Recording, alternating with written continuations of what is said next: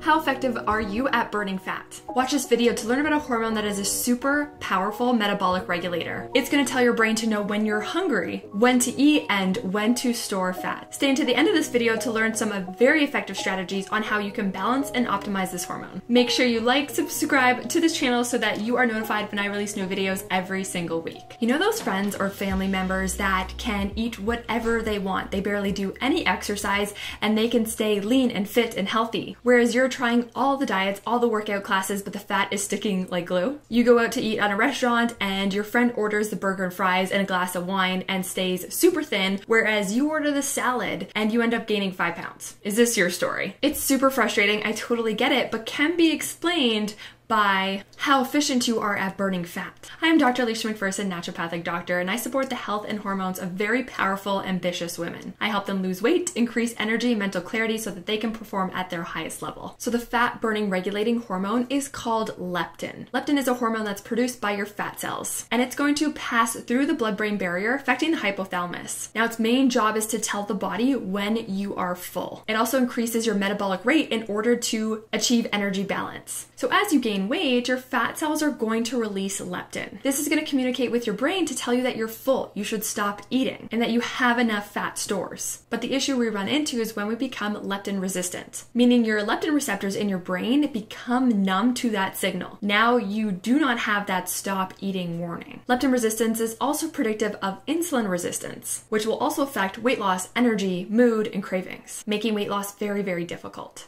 All right, do you have issues with cravings or energy slumps? Leave a yes in the comments below. So what's gonna happen here is your brain, which is not noticing these leptin signals, starts going into this starvation mode because it's not getting the signal that it's full. So now you're burning less calories, you have an increased appetite, and your cravings are out of control, especially for very carby, high sugar foods. And lastly, everything that you eat is now getting stored as fat. Leptin also affects how many thyroid hormones are released into the body, causing your thyroid to switch into fat storing mode just in order to survive. Women with PCOS also tend to have higher leptin levels and lower leptin receptors in the brain. This increases risk of obesity and androgen excess, which often often explains the facial hair growth and acne, especially around your jawline. So, what causes this? What causes the leptin resistance? Well, standard typical North American diet is very, very prone to causing leptin resistance because it's filled with sugar, processed foods, and a lot of carbs when in comparison to protein and fats. All right, let's learn the five ways that you can optimize and balance leptin so that you can improve your fat burning capability. Number one is fasting. Number two is regular exercise. HIIT training, so high intensity interval training, is very effective. Making sure that you are balancing out blood sugar, so including